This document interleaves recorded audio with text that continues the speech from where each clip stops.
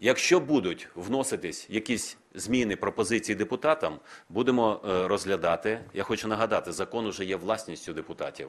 Вони вже е, власністю Верховної Ради, вони вже дивляться е, до нього. Але я можу сказати, що дуже багато якихось змін не думаю, що будуть вони.